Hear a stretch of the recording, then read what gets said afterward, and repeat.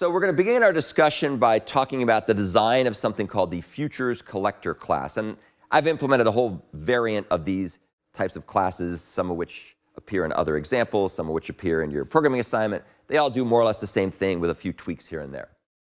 So let's go ahead and talk about this. First, we're going to talk about the limitations with the arbitrary arity methods and, and why we need to address these limitations by wrapping the all-of method within a class that will then work seamlessly with the Java Streams framework. And this is really a great example of turning lemons into lemonade because working around the limitations actually ends up producing a much more powerful abstraction than trying to use the method, like the all-of method by itself. So let's motivate why we need this. Arbitrary arity methods, all of any of, are hard to program directly. By the way, does anybody know what this is? actually, that's actually that's actually a really great. That's a really good guess. It does look like the GPT logo. That's hilarious. I hadn't realized that. Uh, this is the Gordian knot, or it's a, it's a representation of the Gordian knot, but it does look quite a bit like the GPT logo. And in fact, uh, I asked GPT to generate me a logo or generate me a Gordian knot representation, and I guess it did it. Although I never really thought about the fact that, that those two things were very similar. So great Great uh, insight there. So this is, a, this is the Gordian knot. The Gordian knot, if you're not familiar with this, one of these Greek mythology stories where there's some uh, ball of twine that's very complicated. And uh, whoever can unravel it, I forget exactly how the story goes, but whoever unravels it becomes like the king of Greece or something. And so somebody shows up, and I can't remember who it is, like Perseus or Theseus or somebody. And rather than sitting there trying to unravel the Gordian knot, he takes out his sword and chops it in half. So it's a metaphor for solving complicated problems with you know, quick, decisive action. not sure whether he became the king or not. Somebody can check that. We'll, we'll ask ChatGPT what happened to it. But I'm sure that Wikipedia will probably tell us too. So this is, uh, these, these methods are past an array of completable future objects, which usually and awkwardly requires us to convert from a list form to an array form. Really, really, really annoying, but that's just the way it works. I don't know why they've never fixed this in the API. Another issue here is that what happens, these are not strongly typed. You could have an array of any types of completable future objects, and it'll work for all of them, or any of them. And that's why these methods return a completable future to void and or object because it doesn't know, the underlying thing doesn't know what it's waiting on. So those are two problems that we've got. You have this array, it's not strongly typed.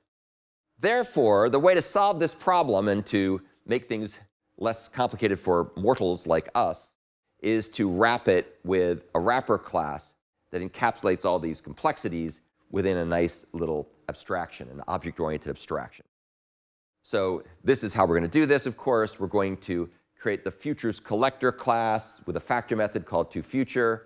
And this will convert a stream of completable futures into a single completable future, as we just talked about, that then will be triggered when all the other completable futures complete.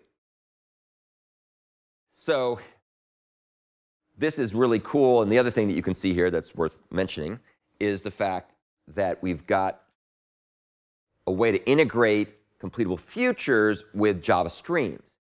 So now we don't have to write awkward control flow with loops and if statements, but instead we can make a nice completable future stream and then collect the results. And it's a nice idiom. You see this used a lot. It's used in your programming assignment as well. So let's talk about how we're going to design this class. So this class is going to wrap all of, and it's called Futures Collector, and we're going to make it work with the Java Streams framework as a terminal operation which is the way that collectors work, as you may recall. So let's take a look at what we got. We got this thing called futures collector, which is the class we implement, and we fill in all of these different methods. And of course, these methods, most of these methods, come from implementing the collector interface. So collector, as you've seen before, is an interface that's a Java functional interface. That's, I take it back, not a functional interface. It's a Java 8 interface, and it's got various features in it for creating suppliers, accumulators, combiners, finishers, and noting the characteristics metadata. And that's what Futures Collector is going to implement. Remember, just a quick recap, what a collector does. Its purpose in life is to take elements from a stream, like a piggy bank and drop each element into the collector's mutable result container. And when everything's done, then either through the finisher or through some other means, you'll get the result. Now, this is actually also a really good example of using the finisher for something interesting.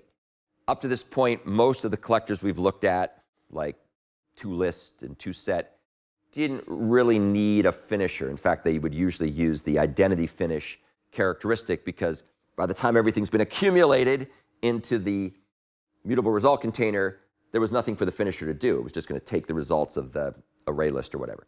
This, however, is going to do something much more interesting in the finisher, and that's one of the things I like to talk about.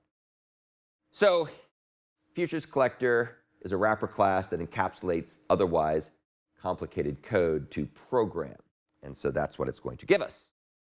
And we're going to talk about the implementation in the next part of the lesson.